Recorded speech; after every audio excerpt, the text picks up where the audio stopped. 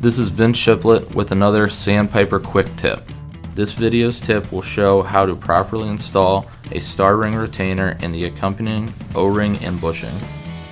Bushings for the pilot valve actuator plunger pins are held in the inner chambers with retaining rings. An O-ring is behind each bushing. If the plunger has any sideways motion, check these O-rings and bushings for deterioration or wear. The plunger may be removed for inspection or replacement. To replace these parts, first remove the air distribution valve body and the pilot valve body from the pump. The plungers are located by looking into the intermediate. Remove and replace the retaining ring, the bushing, and the O-ring.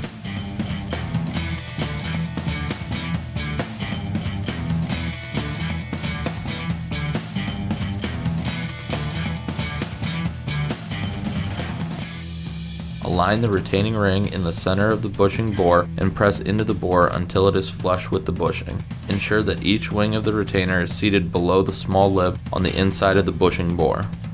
Once the wings of the star ring retainer have been seated and the parts are flush with the intermediate, the actuator plunger pin with a little grease can be inserted through the intermediate like before.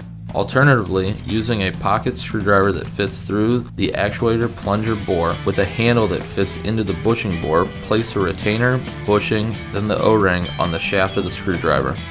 With these parts in the proper order, insert the screwdriver shaft through the actuator plunger bore. Center the retainer into the bushing bore and using slight pressure, push the assembly into the bore. Check to ensure that all of the wings of the retainer are seated below the small lip of the bushing bore. For more information, videos, and literature, please visit our website at www.sandpiperpump.com.